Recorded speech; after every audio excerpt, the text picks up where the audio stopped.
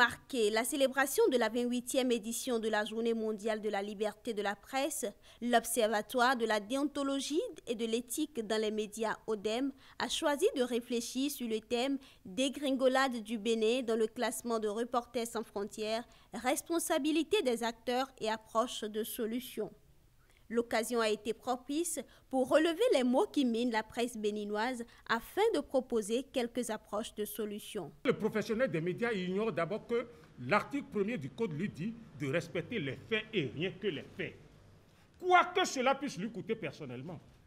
Et tout simplement parce que celui qui veut le lire, celui qui veut le regarder, celui qui veut l'écouter, a droit à la vérité.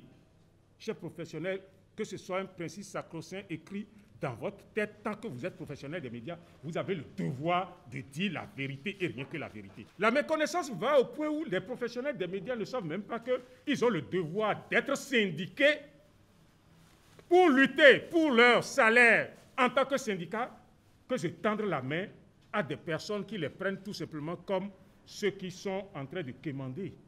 Le code de, de la déontologie, en son article du 2 dit que le journaliste ne publie que les informations dont l'origine, la véracité et l'exactitude sont établies. Mais on lui dit, si lui-même, il a un doute sur l'information, qu'il s'abstienne de publier cette information, tout au moins qu'il puisse prendre les mesures qu'il faut, c'est-à-dire une certaine circonspection. Quand le professionnel des médias à qui l'information vient ou qui collecte l'information n'en est pas rassuré lui-même, pourquoi devrait-il faire cela? Et mieux, on nous dit, dès que nous commettons une erreur, il faut que nous rectifions dans les publications qui viennent. Pourquoi on ne peut pas faire ça? Mais avant cette réflexion, qui a connu la participation de quatre panélistes, l'institution, par la voix de son secrétaire général, a fait une déclaration dans laquelle le rôle de la presse béninoise a été mis en exergue.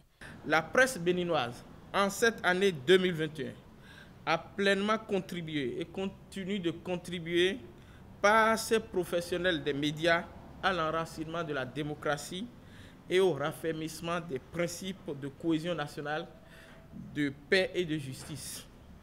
Mais de façon exceptionnelle, en 2021, la presse béninoise a accompagné avec professionnalisme et responsabilité, en dépit de quelques dérapages observés, tout le processus ayant conduit à l'organisation de l'élection présidentielle. Cette année, Reporters sans frontières a à nouveau déclassé la presse béninoise. Elle se trouve désormais à la 114e place avec une note de 38,18, ce qui renseigne à suffisance sur le mal-être de notre presse en dépit des efforts marginaux observés au sein de la corporation. Une visite guidée des locaux de l'institution a mis un terme aux activités prévues par l'ODEM pour marquer cette célébration.